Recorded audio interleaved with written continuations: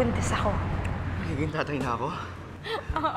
Ngayong Martes ng gabi, kapalit ng magandang balita We have to terminate the pregnancy. Gusto niyong patayin yung baby ko?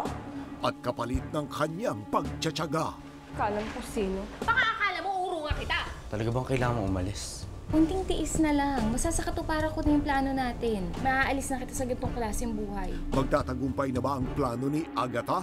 Akin pa rin ang bukas.